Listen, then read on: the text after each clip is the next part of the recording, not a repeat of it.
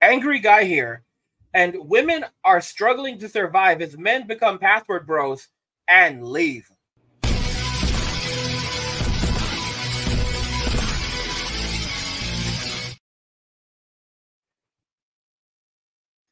So, in another God is good moment, women are struggling to survive as men become passport bros and leave. Let's just go ahead and jump into this article. So, this is pretty intriguing. I've talked about this before, but it's titled When Just One Job Isn't Enough Why Are a Growing Number of Americans Taking on Multiple Gigs? The story was written by Daniel de Vise from USA Today. And let's just see how it starts off. The number of Americans working two or more jobs has reached its highest level since 2020. Since the events of 2020, new federal data shows a trend that suggests more of us are feeling inflation's pinch. Nearly 8.4 million people held multiple jobs in October.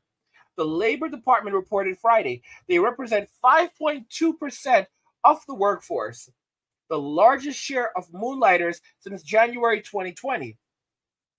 Employment statistics show that 5.9% of women worked multiple jobs in October compared with 4.7% of men. Roughly 5 million Americans held one full time and one part time job. Nearly 2 million held two part time gigs. Another 1.1 million said they held jobs where the hours varied fewer than 400,000 held two full-time jobs. So, as you guys can see, four 5.9% of women worked multiple jobs compared to just 4.7% of men. That's over one percentage point higher. Okay. And we already know that men live difficult lives. So for guys, guys are just going to adjust or continue dropping out of the economy and walking away. This isn't this is while women don't have the same luxury.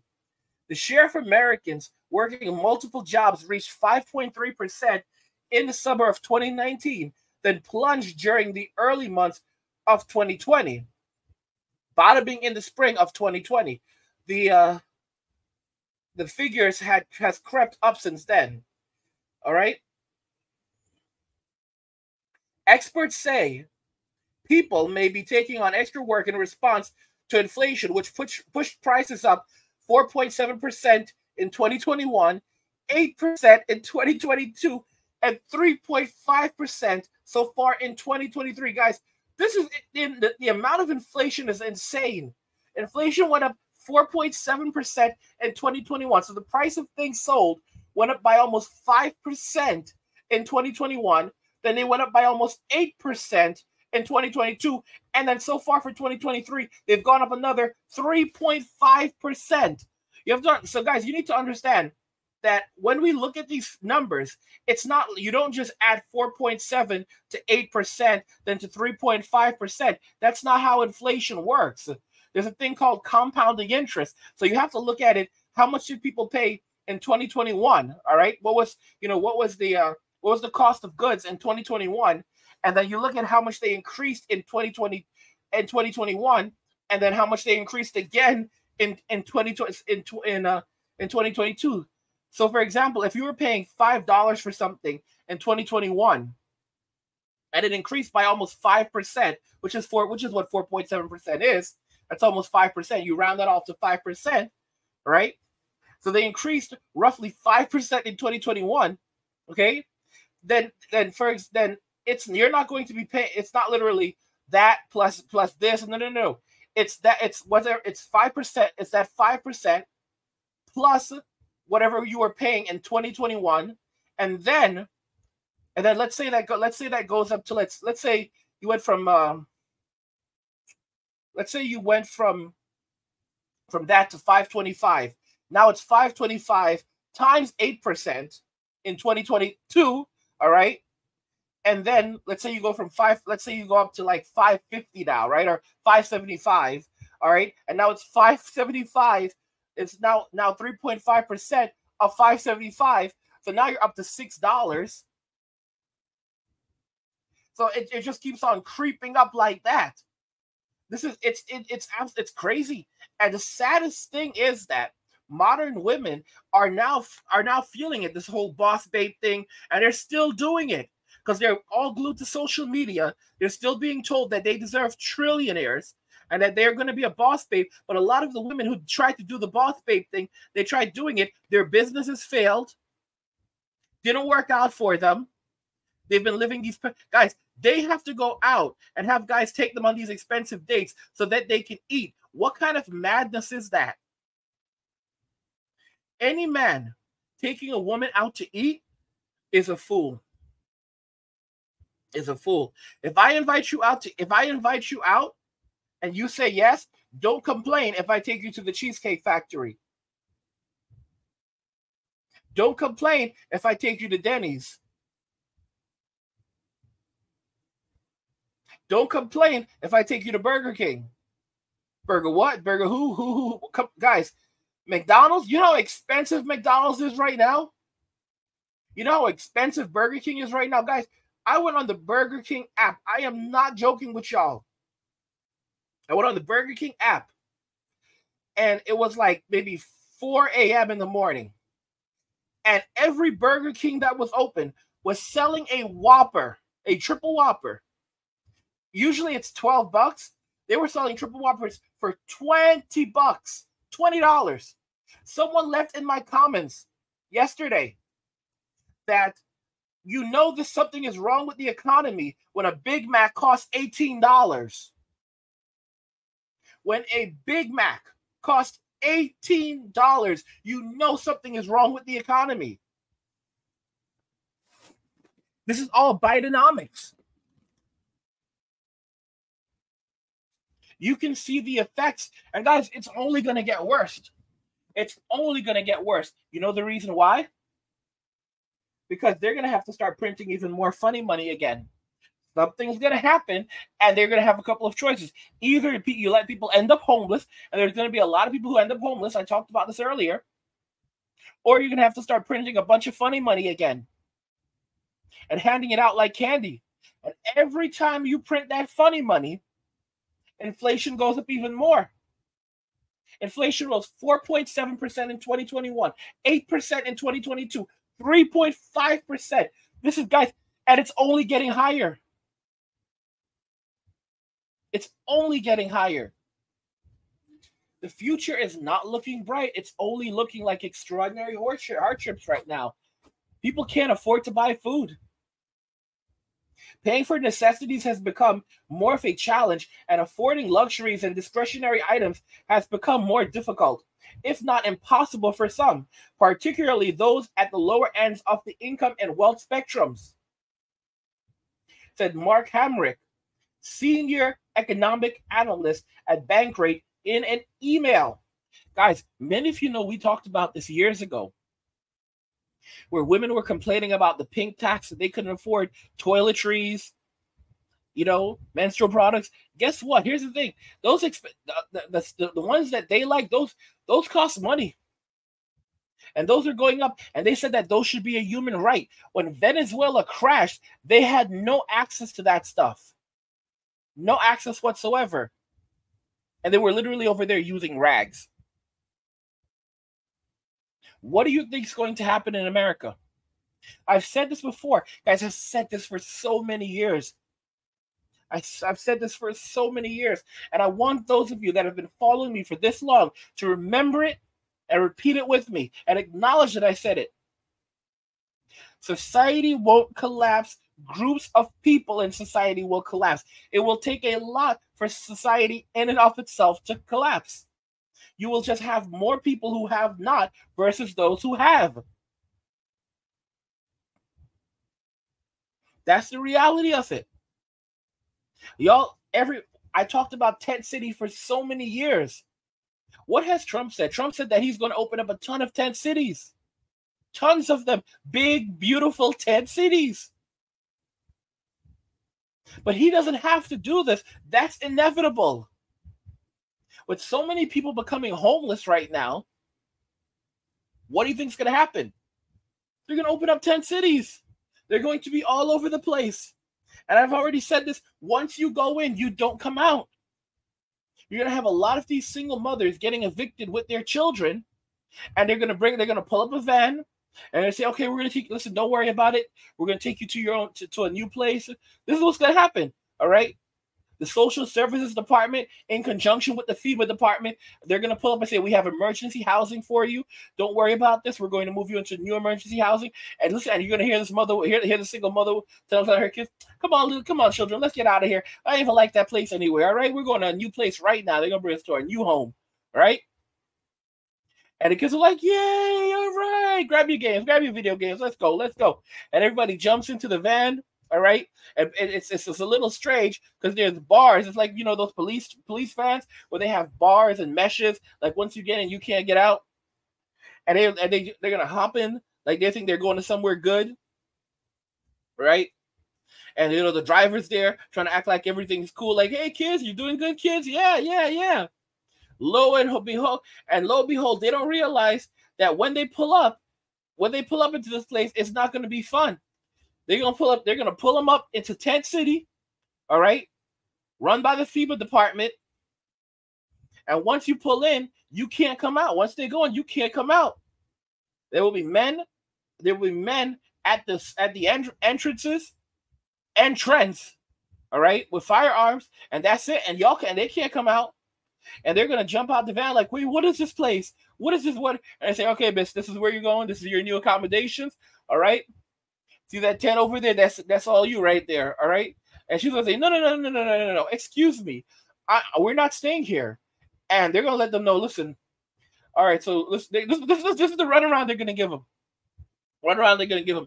All right, well, listen, we're gonna have social workers and case managers coming, so you can go, so you can meet with your case manager. But for right now, please go ahead and have a seat over there.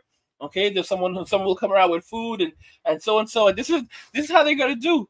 And they're gonna basically it's like when you get locked up in an insane asylum, you're trying to get out, and they start they start giving you the runaround until you basically just have to sit down and go with it, and you realize help isn't coming. All right, and you can't. And once you go in, you can't come out. And that's really how it's to be. And eventually they're to realize, you know, they're to have to go and turn into the tent and everything else. And that's and that's really how it's to be and then maybe three or four, four months after they're in there, that's when they might meet with a case manager. All right, someone who doesn't care at all, like completely in disarray. and she's like, she she goes and she meets with the single mother, and the single mother is there with the kids who are miserable, and there she's asking them questions about like you know what's her work history and all of these other things, and she's like, yeah, because I need to get out of here because I can't be here anymore with these kids. And and and uh, the woman's like, yeah, I, Miss, I understand the situation. Okay, we're going to review your case. Thank you for finding this information. And uh, and and, and the lady's going to say, so when are we getting out of here? When can we get out of here? We'll we'll we'll, we'll reach out to you. You're gonna you'll, you'll you'll be hearing from us. Okay. I would give it. I would give it a. I would give it at least a week. I give it a week. It could listen. Some people have. Some people get through with this within within a few days. I'd give it a week, though, at least a week. Okay, and that's going to be the end of that. And Three weeks will go by and they, she doesn't hear anything from them. All right. Lo and behold, the lady who interviewed them, all right, the case manager who interviewed them, she she at that very moment, as soon as she finished the interview, she literally marked out on the form, do not release. Do not release.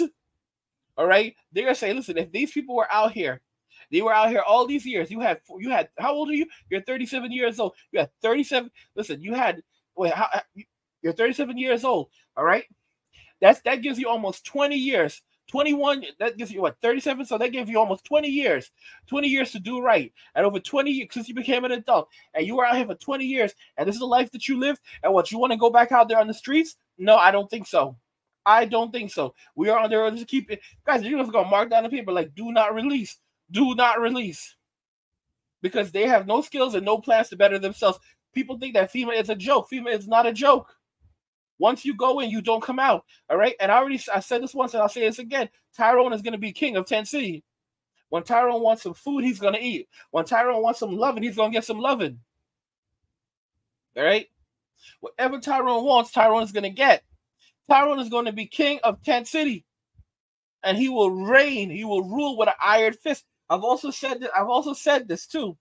That you're gonna have dudes coming there all right, I said this. You're gonna have dudes coming there, grilling in the grilling in the front and setting in plates, setting in plates of food for Tyrone, Ray Ray, and Pookie. Keep them well fed. keep them well fed. And you hear these women and they're like, oh my goodness, is that barbecue? I want some of that. And Tyrone's like, hey, listen to me. Don't touch my plate and don't look at my plate. All right? I'm gonna deal with you when we're done because I need my back rubbed and then some other stuff.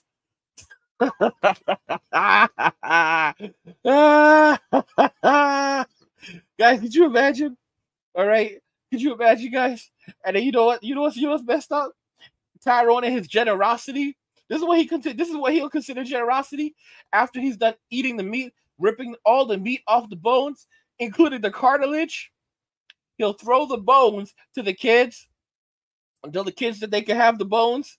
And he feels generous doing that because he left the marrow in the bones. He could have bitten into the bones and sucked out the marrow, but he didn't do that. All right. He, he left the marrow in the bones so the kids can enjoy the marrow. That's how generous Tyrone is. All right. That's how generous Tyrone is. oh my gosh. Oh my gosh. Oh my gosh. Oh goodness, goodness, goodness gracious. Okay. Let's continue with this article, guys, because I'm just having too much fun. People who take a second job may also be bracing for possible layoffs, which tend to peak at the start of a new year. They could be padding their coffers for the holidays. Women did this to themselves. I guys, nobody's out here feeling sorry for the ladies. They did this to themselves. They made the decision to live this life. They wanted to wanted to be boss babes, and we see where this is. We see where this leads. Okay. People who take a second job may be bracing for possible layoffs. Guys, they're out here struggling. They're out here struggling in these streets. All right. Renter notes that the numbers of people working one full-time job and one part-time job stands at an all-time high. The number of workers with two full-time jobs reached a historic peak in September. One reason she said could be the rise of working from home. Okay. And the events of 2020 triggered a, a massive growth of remote work and da, da, da, da, da. more jobs are allowing telecommunication. Since the start of the events of 2020, the share of workers holding multiple jobs has recovered more and more, and suggestively even sometimes exceeds pre 2020 levels among those with remotable occupations. Guys, women are this is the rise of the soft girl. You know, women in their soft girl era. All right, wanting soft lives, and they don't have, they can't clean, they can't cook, but but they are the table, and they're going to get a man who's going to provide everything for them, everything that they need. And they really out here trying to run this, guys. This is a scheme, guys. This is no different than a pyramid scheme. All right, these were soft girl era women. They they're out here with this this this this is a Ponzi scheme. All right, this is they're out here with their Ponzi scheme Ponzi scheme relationship. All right, soft girl era is a is a is a Ponzi is is a is a, is a girl is a girl equivalent of a Ponzi scheme. Girl equivalent of a Ponzi scheme. Really out here with their Ponzi schemes? My goodness gracious. What do you guys think regarding this? Women are struggling to survive as men become passport bros and leave. The guys are walking away. I've said this already that as guys, more and more men do this, with just a small number of black guys that are doing this right now, that's this costing the US five billion dollars. As soon as the passport Joes start to dip, guys, that's in the tens of billions of dollars. All right. Y'all really think the US government is gonna let that roll? Y'all think the UK is gonna let that roll? And even if they tax these men, these men are not going to do anything. Because if these guys are forced to stay in their countries, they're only gonna work enough to survive, but that's about it. And women are increasingly trying to find, you know, trying to find men so that they can you know, older women are trying to find men now so they can live easier lives because the, the homeless rate, the homeless rate has skyrocketed among women. The largest group of homeless, the largest group of people that are becoming homeless are women and especially an older women. Let me know your thoughts in the comments. Like the video if you like it. Don't forget to subscribe. And if you like the video, share the video. And just remember that all roads lead to MWA, man. Walking away and cheers.